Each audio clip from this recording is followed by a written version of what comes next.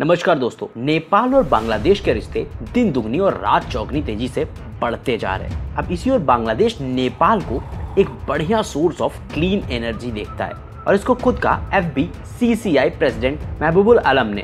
दोस्तों, हाल ही में बांग्लादेश में इलेक्ट्रिसिटी यानी कि बिजली को लेकर क्राइसिस देखने को मिला रहा और वो इसलिए देखने को मिला रहा क्योंकि बांग्लादेश में बहुत सारी बिजली फ्यूल से बनाई जाती थी, यानी कि पेट्रोल, डीजल से बनाई जाती थी। और जैसे ही इनके प्राइस में फ्लक्चुएशन होता है और पावर डिमांड बढ़ती है तो कहीं ना कहीं इस बिजली का कॉस्ट भी बहुत ज़्यादा बढ़ जाता है और ये इन्वायरमेंट के लिए बहुत नुकसानदायक होती है, क्योंकि इसमें तेल को जलाया जाता है। वहीं दूसरी ओर, नेपाल एक ऐसा विकल्प है जो कि बिजली का उत्पादन करता है हाइड्रो पावर से, यानी कि डैम्स बना के, जो कि बिल्कुल क्लीन और ग्रीन एनर्जी है। और ये एनर्जी बांग्लादेश से काम बहुत ज़्यादा आ सकती है।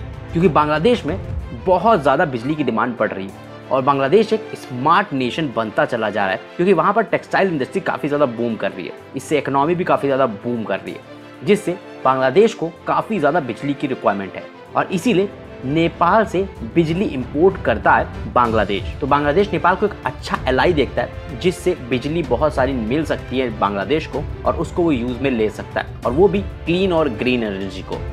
आपको बता दें कि एफबीसीसीआई प्रेसिडेंट ने मेमोरेंडम ऑफ़ अंडरस्टैंडिंग यानी कि एमओयू भी साइन किया बांग्लादेश और नेपाल के बीच में 500 मेगावाट इलेक्ट्रिसिटी नेपाल से लेने के लिए। साथ साथ इससे नेपाल को भी काफ़ी एडवांटेज मिलेगी ट्रेड और इन्वेस्टमेंट में बांग्लादेश में। दोनों ही देशों का ट्रेड और इन्वेस्टमेंट काफ़ी ज़्यादा बढ़ रहा है। तो ये दोनों ही देशों के लिए काफ़ी ज़्यादा अच्छी बात है, जो कि दोनों ही देशों की इकोनॉमी के लिए बेहतर होगा।